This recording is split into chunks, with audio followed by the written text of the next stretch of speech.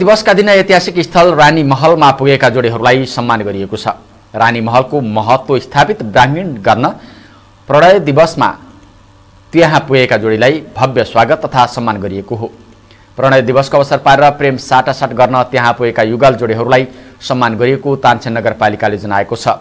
प्रेमको प्रतीकका रूपमा रहेको रानी महलको प्रचार प्रसार गर्न तानसेन नगरपालिकाले प्रणय दिवसका दिन प्रेम जोडीलाई सम्मान गर्ने कार्यक्रम बनाएको थियो।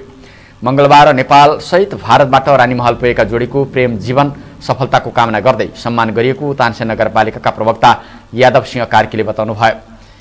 एक सय उन्तिस वर्ष अघि खड्ग शमशेरकी आफ्नै रानी तेजकुमारीको सम्झनामा एघार रोप्ने क्षेत्रफलमा रानीमहल दरबारको निर्माण गरिएको थियो।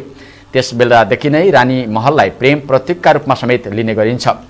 पछिल्लो समय प्रणय दिवसका अवसरमा रानी महलमा प्रेम जोडीहरू जाने गरेका छन्।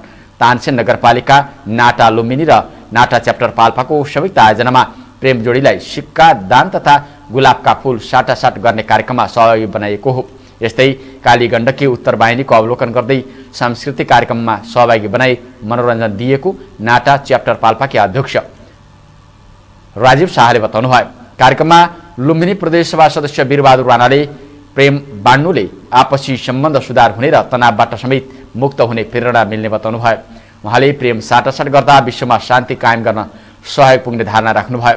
तानसेन नगरपालिकाका प्रमुख सन्तोष लाल श्रेष्ठले रानीमहलमा आन्तरिक तथा बाह्य पर्यटक भित्राउन यस्तो कार्यक्रम गरिएको बताउनुभयो। रानीमहल नेपालकै प्रमुख पर्यटकीय गन्तव्यका रूपमा स्थापना गर्न नगरपालिकाले पहल गरिरहेको उहाँको धारणा छ।